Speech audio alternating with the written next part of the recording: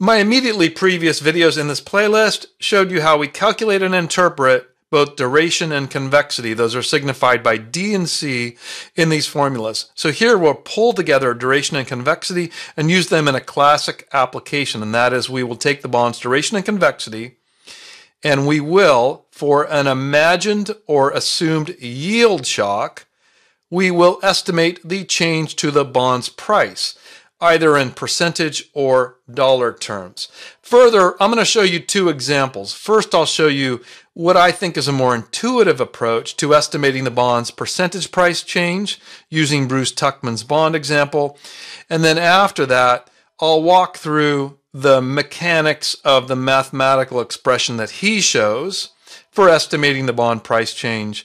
And we would get to the same answer regardless of which approach we use. And it's good to be facile here with going back and forth between these percentage price change and the dollar price change of the bond. So I'm looking forward to sharing this.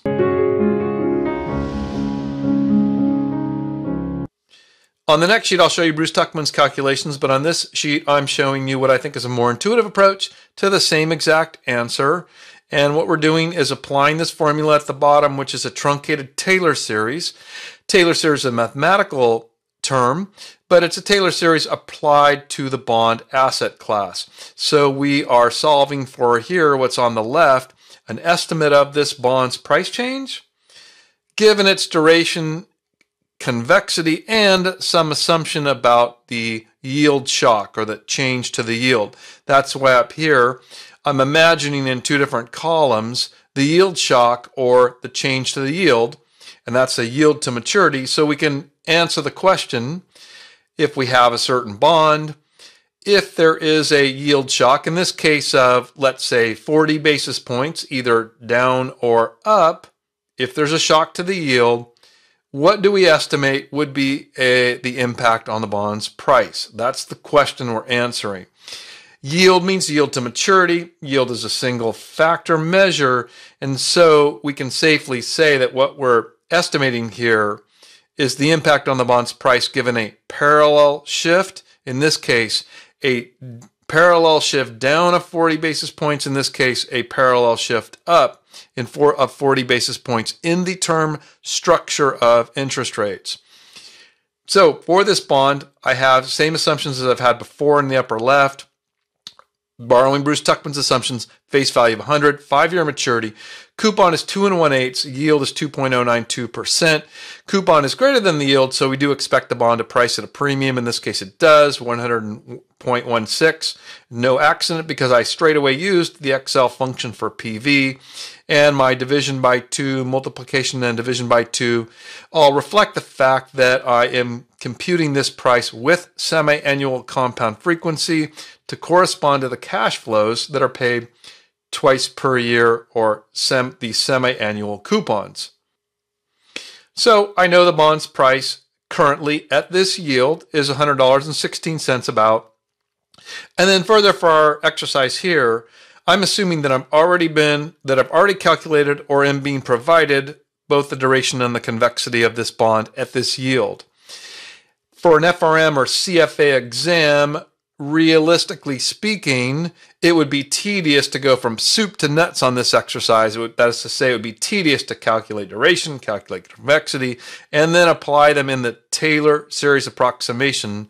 So I would say more realistically, if we're going to apply the Taylor series approximation, just in the interest of time, you generally will probably be provided at that point the duration of the convexity. So I've already calculated them. Those are reviewed in a previous video, play, a video in the playlist if you want to take a look.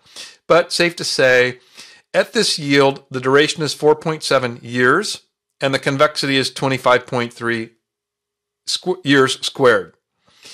Further, hopefully you recall that strictly speaking, this is a modified duration because it's not a Macaulay duration, it's not a dollar duration, because it's the modified duration that's the correct measure of interest rate risk and that would plug into here into the trunk, what I'm calling the truncated Taylor series.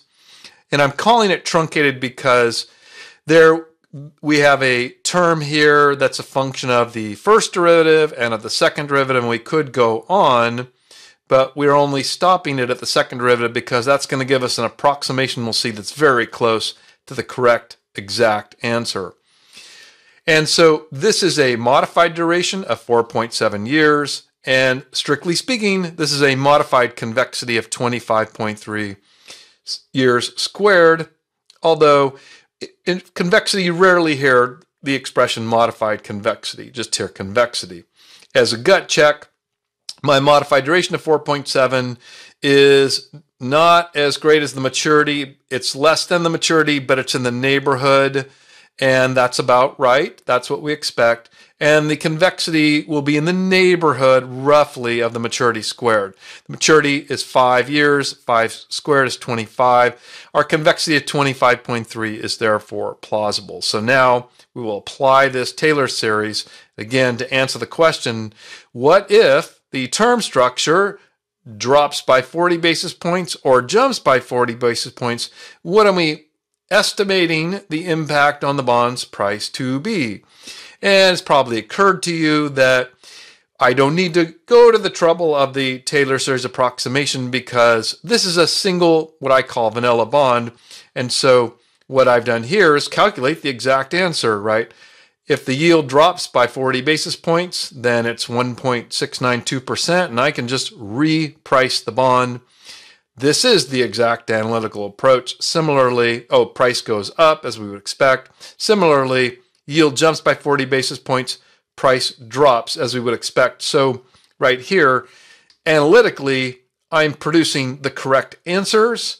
And in this, if this were a real life situation, I don't need to go to the trouble of the Taylor series approximation. The idea really is that we're imagining we are manage a portfolio of many bonds. And the bonds may even include non vanilla bonds like mortgage backed securities that include embedded options. And so at that point in complexity of the portfolio, it becomes too much, maybe too much trouble for us to immediately or currently reprice the bond or the bond portfolio. That's what I'm doing. I'm doing an exact repricing based on analytics here but now I'm going to employ Taylor series approximation just to estimate. And so, very simply, for the first term here, you can see negative duration multiplied by my yield shock, which is all that I've done here. Negative my 4.7 years time multiplied by my negative 40 basis points gives me an estimated percentage change in the bond's price of 1.888%. And you can see duration is a linear approximation, so it's symmetrical. If the yield were to jump 40 basis points, I'm estimating per a linear approximation a drop in the bond's price of negative 1.888%.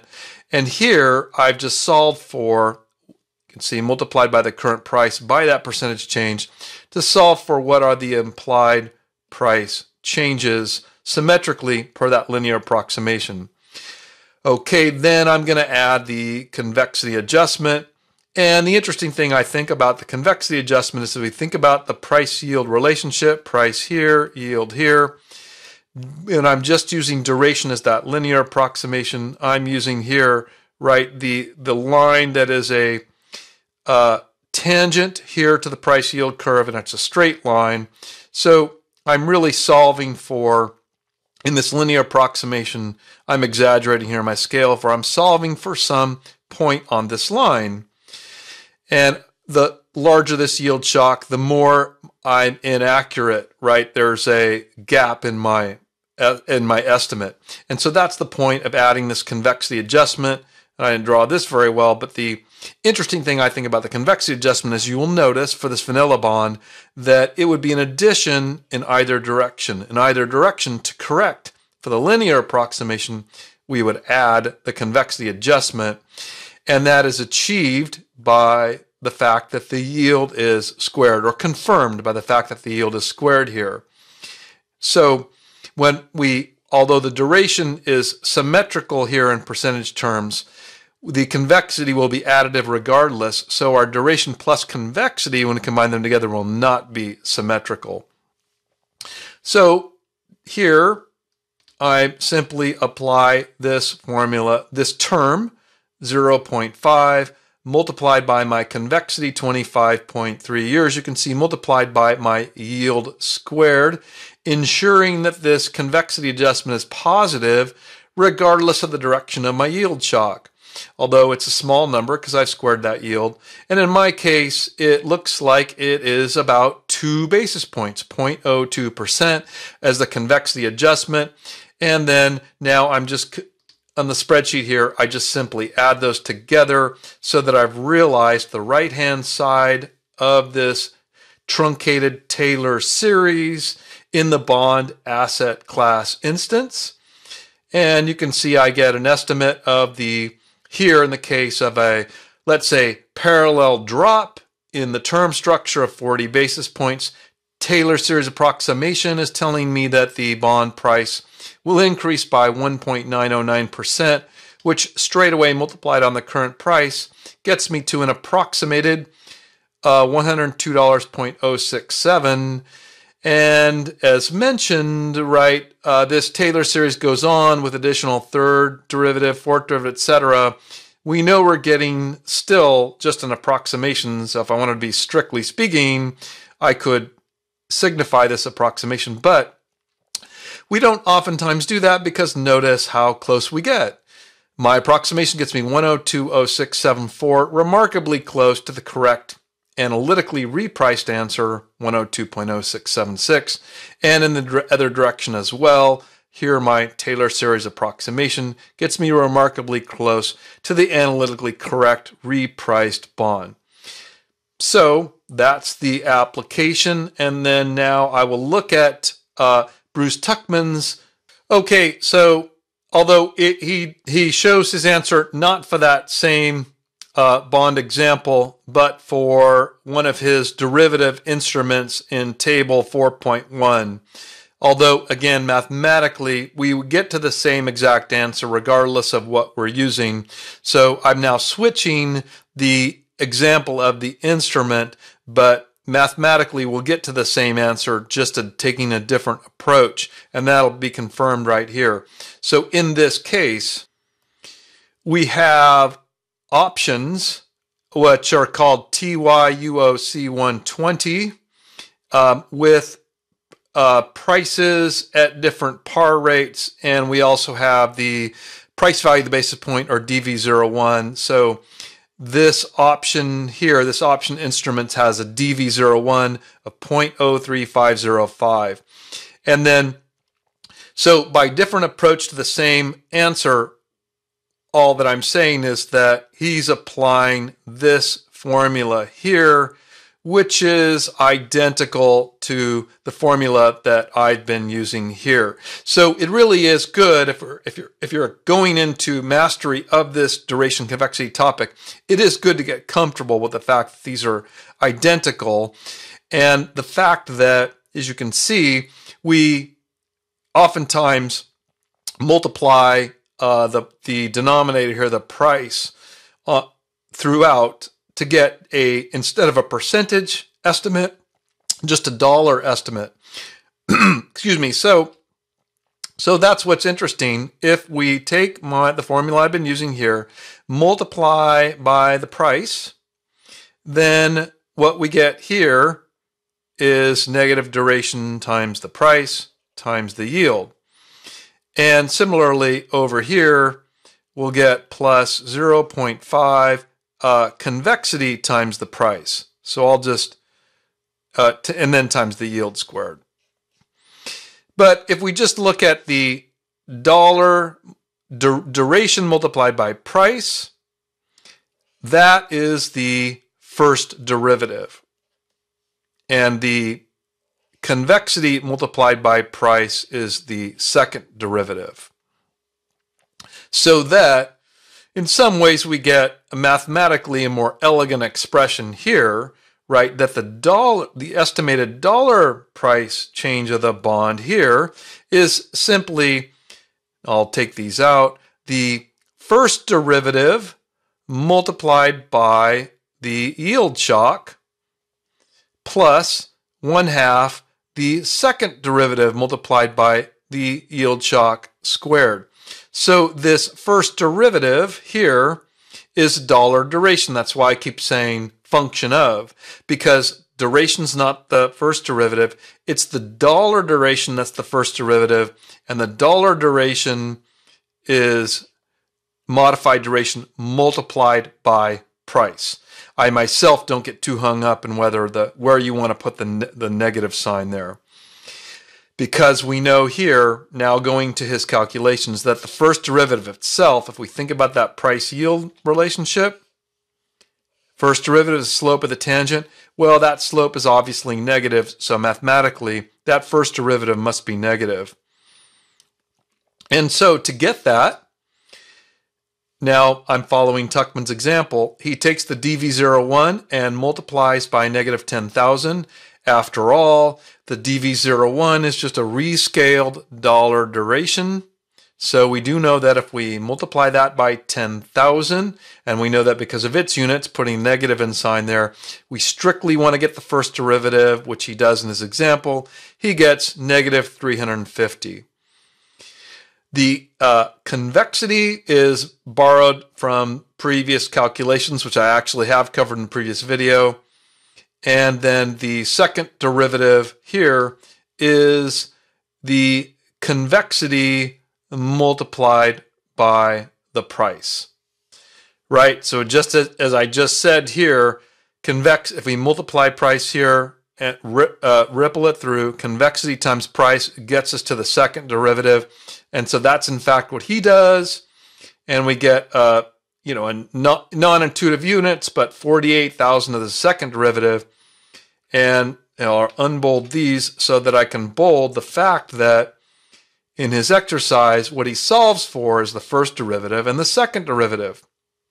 And then he's ready to apply this formula here, which again is not different than the one I showed you at all. The only real difference is we multiplied price through so that we're approximating for a dollar change instead of a percentage change. And so then in his, ca- in his case, he asked the question, what do we approximate per Taylor series if the new yield is 2.5%? Given that we're at 2.77%, well, that is a yield drop or parallel shift down of 27 basis points, and then he can straight away go to applying it. Here's the price we've already got at the current yield. Here's the first term solved for.